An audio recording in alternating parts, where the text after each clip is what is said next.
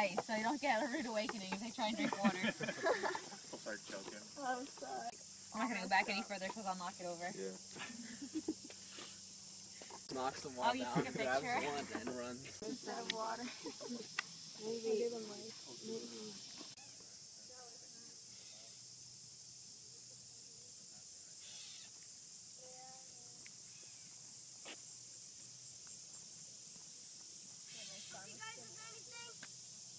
can't do it.